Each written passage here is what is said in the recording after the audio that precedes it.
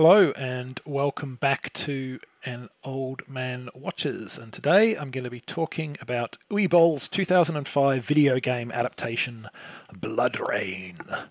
Uh, and in this movie, the title character Rayne is a half human, half vampire crossbreed known as a Dhampir. Uh, she was conceived when the vampire king Kagan raped her human mother and subsequently murdered her. Um, as a Dhampir, Rayne shares the superhuman strength and speed of her father, but she lacks many of a vampire's weaknesses. She's not harmed by crucifixes or by sunlight, and she does not thirst for human blood. The only thing that does affect her is holy water. Uh, these characteristics make her a potentially valuable weapon in the fight against the vampire menace and bring her to the attention of the Brimstone Society, an order of warriors who are dedicated to just that cause. Now, Rayne hates her father, so he did, you know, rape and murder her mother. So she's on board with the vampire slaying plan. But it's not going to be easy. Not only does some among the Brimstone Society distrust her for her part vampiric heritage, but Kagan has been seeking three artifacts of Belial, with which he'll be safe to walk in sunlight and immune to the power of crucifixes and holy water, making him nigh on unstoppable. So Uwe Boll rose to some notoriety in the early 2000s for churning out a series of poorly received video game adaptations, starting with 2003's House of the Dead, a movie that is spectacularly, transcendentally awful and which I deeply, deeply love for its utter lack of self-awareness. Uh, Rayne enjoyed a significantly larger bu- budget than Boll's earlier films, resulting in a much more recognisable headline cast. Uh, but its critical reception was no better. Uh, it was nominated for no less than six Golden Raspberries, uh, and its commercial performance was actually far worse. And let's be honest, this is a bad film.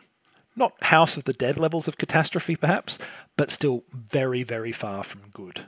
And yet, I've watched and enjoyed it on multiple occasions. Again, not as many as I have House of the Dead, but, you know, precious few things can be as fascinatingly awful as that movie. So, why is BloodRayne bad, and why do I like it nonetheless? Well, I mean, the first of those questions is going to be a lot easier to answer than the second, so let's start with it. So, as already mentioned, this film had a bigger budget than Boll's previous movies, which meant he could hire a much more recognisable cast. But that does not mean that the money was spent wisely.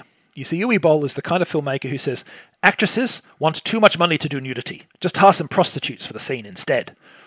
And this is, in fact, the movie where he said that for a scene which also features Meatloaf. You know, because a middle aged rocker who hadn't had a hit in over a decade was apparently something that Boll would pay for. But that's only one minor scene, though, and the film's casting issues run a lot deeper than that. Boll picked, picked uh, Kristanna Loken to play Rayne, uh, and I suspect he cast her simply because she's tall and beautiful. Now, Loken's actually got her merits as an actor. I've seen her in other things and th- thought her work was good. But none of those merits, unless you count the fact that she's a very good looking woman, are showcased in this movie. I don't think she's simply at all well suited to playing the fierce and brooding character depicted here. Uh, then we have Michael Madsen uh, as the leader of the Brimstone Society, who appears to have been off his tree during filming. Uh, there's one scene where I'm pretty sure he literally falls over the second after the, char- the after the cameras stop rolling. And then we have Michelle Rodriguez, meanwhile, who seems to be trying to put on some kind of accent, or possibly just disguise her normal accent, with highly uneven results. And we haven't even talked about Ben Kingsley yet, playing the Vampire King Kagan. Kingsley apparently took the job because he'd always wanted to play a vampire, but you'd be hard pressed to see any of that apparent enthusiasm in his monotone, nigh expressionless performance. And then there's the script. Oh my, the script.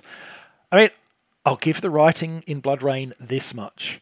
It genuinely feels like something out of a computer game.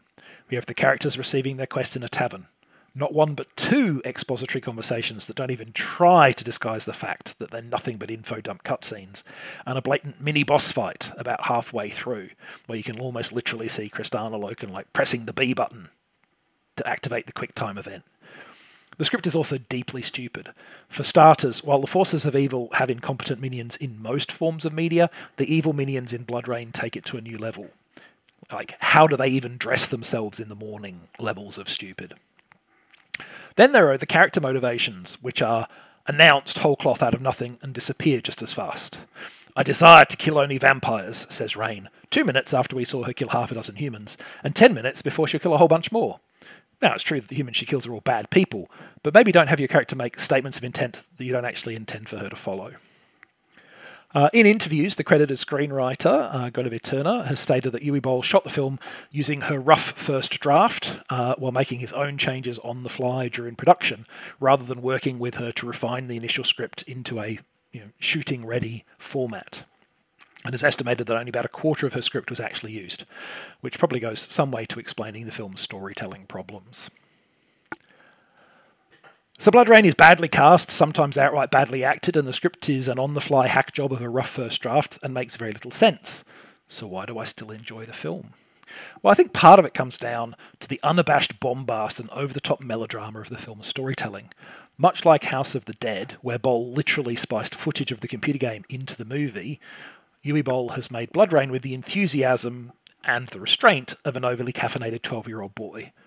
The result is bad, but I feel like it's bad in the same way that a puppy that's so excited to see you it accidentally pees itself is bad.